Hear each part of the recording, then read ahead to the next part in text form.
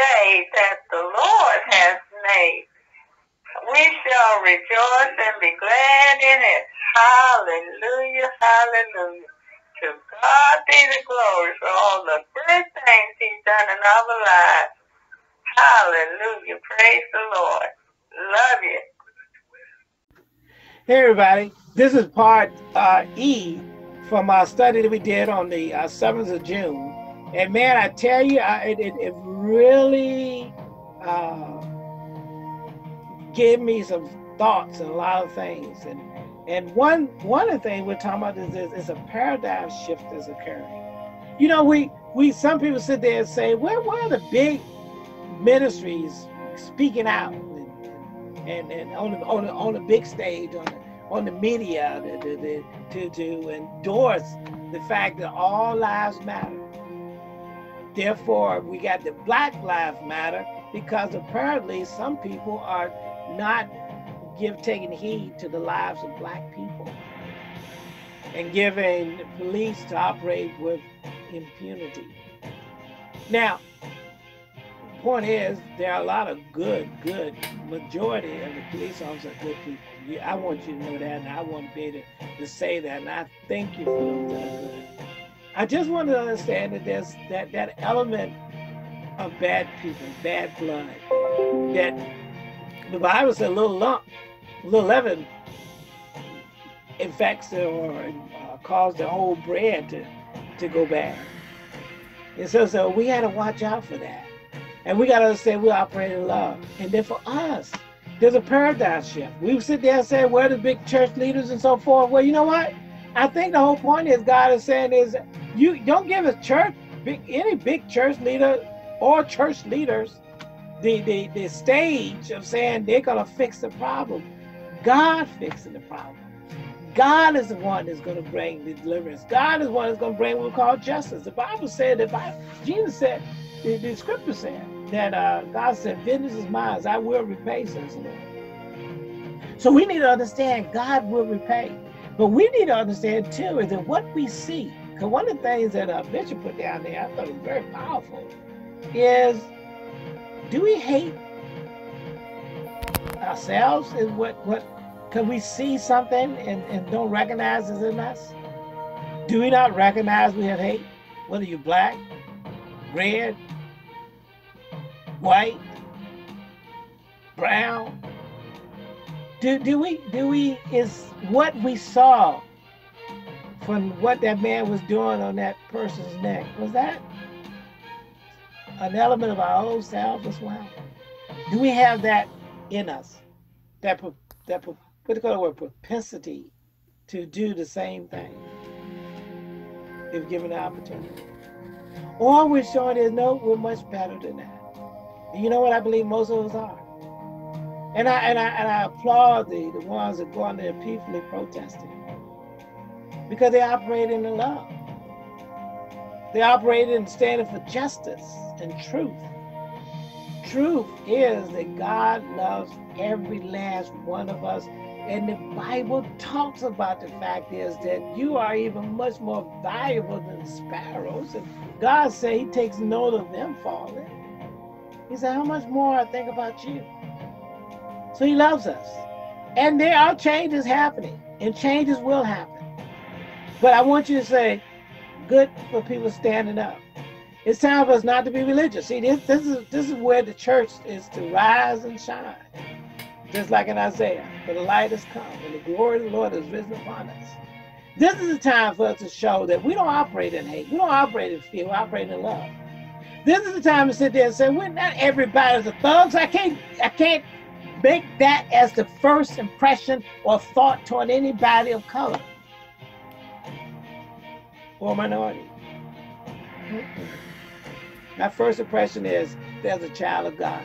And if it's not, then I need to go preach the gospel to them so they can learn and receive the blessings of the Holy Spirit and God coming into them. That's what we need to do.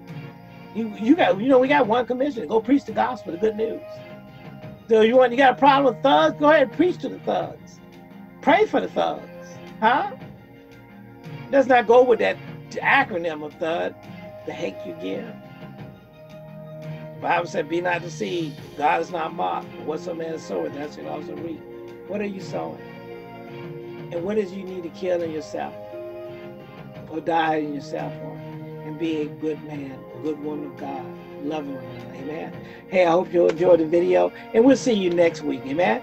Hey, this was happening on 7 June. God bless. Bye bye. I think the overarching still is the same thing that Jesus Christ did because we're the disciples of the Lord. So what he did, he gave us an example of how he wants us to live in this dispensation as a rule. But like with a GPS, they can give you general direction, but when that stops uh, light is red, you got to stop. So we can get updates as we go along the path. It's maintaining the, the, I think the prayer thing. One thing I think we we did historically, we have taken prayer as being like some kind of magic potion where we don't have to do nothing. But that's not true. Man, prayer is a, is a is a conversation in which we get direction and if we don't get no direction, we don't get no direction. I mean, we, sometimes prayer calls you to do something. You know, you got to move. You got to do something. It's it's a, it's a conversation. It's the exchange of information. No, God is not telling us that He gonna magically make these things un, un, un you know, hocus pocus, you know, help us focus or whatever it is. But it actually is the place where God speaks to His people and gives them directions as to how they ought to perform. He could have told them to roll out from under that guy. He could have told them anything, but the question was, did he ask? You know, are we going to ask when the situation arises? Lord, what do you want me to do? Well, and, and don't forget that, but, but Brother Jackson got something to say, though. Well, it, it kind of goes along with uh, uh, the lines of what Elder is saying. You know, in hindsight, what could we have done? What could have been done? Now, you know, we weren't there, but you know, the uh, it makes me think, and, and this is just a thought, kind of like what Brother Jimmy was throwing out. Uh, when the folks who were witnessing this were responding in the flesh, it did not work. Nope. But if they had a responded by getting on their knees and praying and getting closer and closer and affecting that situation, it's very possible that those individuals' hearts may have been uh, uh, uh, softened, and they may have. you talking about that time? You talking about at that at that moment? You talking about this? Yeah, at that moment. Had think about it. Because what it is is you know when you we all know when you if there's tension on both sides and people just keep pulling.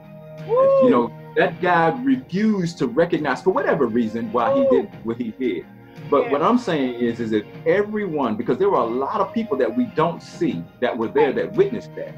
But had those individuals came around it's kind of like when we put hands on someone. Yeah. We expect for uh, God to, and whatever, however God wants to do, it's His will. But had they surrounded that scenario wow. on their knees, maybe not put, okay, uh, I believe that something, you know, far different may have occurred. And that's kind of what I'm getting at is that we, you know, Elder is saying, you know, pray. You know, when you when you said prayer, it's very possible that if somebody had to say, look, boom, I'm on my knees right now, and, and just let the Holy Spirit do his work in this situation, that he uh that that it may not have transpired the way that it did you know we again we got to go straight to god we have to be careful because you know i know sometimes i find myself using the, the scripture to uh uh to, to, to, to promote my opinion wow. and then this, the holy spirit speaks to me wow. right but but yeah yeah you know we this this opportunity that is yeah. that is coming on us is um, a phenomenal one. But I, that's what I want to say, Elder, and to Jimmy, because uh, you know you, you you both were bringing up something. It just kept coming to me. Yeah, I think that that's something that could have been done different had they just prayed. If, if all think about it, all those people that drove by got out of their vehicles and prayed. Those individuals that had the that had the cell phone, you could have you could have kept that cell phone on, but had you prayed, you know, have you done all those things? And um um uh and right now, I mean, right now, uh, we pray. You know what? I, I, and I appreciate that, and that's a great perspective. And who knows? But let's just say that's what you've been doing for 400 years, and he still ain't got his foot off your neck. Then what? Uh, but you know, Jimmy, the thing is that there has been some progress made. Um, man, we have literally. I mean, we just the guy that black just left the White House, and he did an excellent job as far as politics is concerned. Yeah. So we have seen some progression, but what we saw was regression on our part in the sense that we have not followed the God. Where they said that this guy called upon his mom before he died. they said that he asked the cop to take his foot, his knee off of his neck before he died. Was his conversation with the Lord, and then I know that sounds that's harsh coming from me. It may be something that I, someone would scorn what I just said, but we gotta stop calling on the wrong people Woo! to resolve our issues. We need to call Woo! on God, man. I mean, forget this. If, if God before you, who can be against you? God is not here to glorify me or anybody else. If, if Chris had came and saved me that day, Chris would have got get saved that guy, he would have got the glory. it's only God is involved in things where he gonna get some glory out of it. I'm sorry to say that, but he's selfish like that. He ain't sharing his glory with nobody. He said no flesh is glory in his presence. So when we submit ourselves to him and put our lives in his hand and dedicate ourselves to operating in such a manner that he's gonna get the glory out of it, I don't think he's gonna walk away from that looking bad. You, you understand what I'm saying? Yeah. Maybe we sacrifice, but we're gonna get sacrificed because it's gonna bring glory to him. The Hebrew boy said, Hey, you know what? We know he can deliver us even if he don't. And we ain't gonna serve you regardless of what he do, because we gonna serve him. And yeah. we gotta go that route. We got these guys have had their foot on their neck. You're right, four, 400 years. You get used to doing that. You got where you at because you were doing it. Why would you give it up? Their hearts ain't gonna change because we asking them to have mercy on us. I think it's a waste of time. We Woo. gotta go to God we have to go to the Lord if we're going to get this issue resolved without going fist to cuff and becoming as corrupted as they are. Because in order to kill a murderer, you got to be a murderer. Hey, look in order for us to stop doing that, then uh, not get corrupted like that, we got to use another tactic. So what did Jesus say? He said, "Be of good cheer." In this world, you have tribulation. You have tribulation, but be of good cheer, for I have overcome the world. And that perplexed me because they had crucified him. And I thought, how did he overcome the world if they killed him? I said, well, they didn't change his heart. Mm-hmm. And because they weren't able to change his heart, look at us. Mm-hmm. We get our heart changed by a man that the world tried to destroy. And that's the same thing that the, the devil is trying to do with us. He's trying to work mm-hmm. his way inside of us, Chris. I've been there, man. I am there. And I mm-hmm. have to fight that day every day. He tries to get inside of you and make you as hellish as the folk that you hate. Let me just say this. I think in my heart that black people as a whole are crying out for justice, not revenge. Well, thank God. We crying out for justice. Thank, thank, thank God we're not crying out for revenge. That we we're we're, we're not looking for revenge. Right. We're only looking for justice. But we're seeking justice from the wrong people. Why would we go to Satan and ask him to treat us right? We're gonna get justice from God. Only, only the Lord can deliver us from the hell of this. I mean, disinfecting these guys.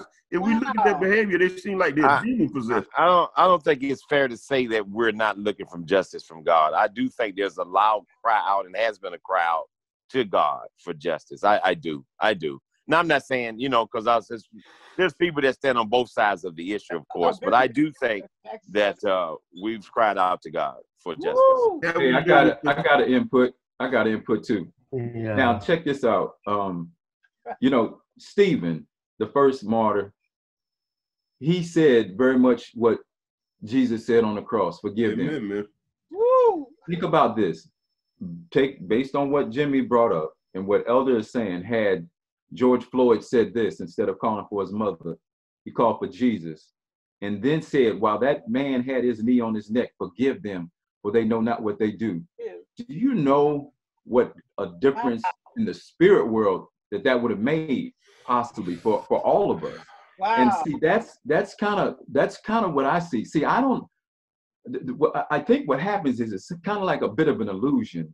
Hmm. satan has us looking one way when really we need to be looking elsewhere in spite of what we might be seeing with our eyes. Right. And and i can i swear man if if, if george floyd had said uh, uh, man i don't know if I could have handled it. But if he had said that, cried out in Jesus' name, and then Woo! said something like that, Lord, forgive them, for they know not what they do, and he died anyway.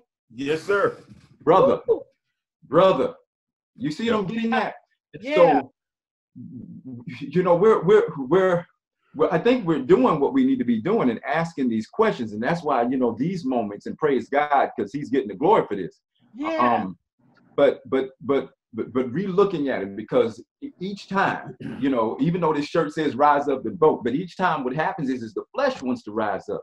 I mean, yeah. each one of us, man, I looked at each one of you guys, man, I'm like, man, these some bad dudes in their days, right? Man, but that is not where we need to come from. That humility, that yielding to the spirit. And I think what it does is is it tells us something altogether different from how we would normally do. And again, that's why I think, and when Jesus was in the, again, he was tempted like all of us, right? Amen. So when he Amen. saw injustice, when he saw crime, when he saw depravity, I mean, I think his his flesh, man, he he wanted to rise up and take care of business. But he Yeah. prayed and he prayed and he was in constant communion. He was in constant fellowship with God the Father, and he only said what God wanted him to say. He only did what God wanted him to do. That is where we got to be. You sound like And, you and the example that was set for us was Christ on the cross. Woo! Father, forgive them for no, He no, did know, example, not what they do. It was, it was, it was uh, the young man, uh, uh, Stephen, when he was being stoned. Don't charge this sin to their account.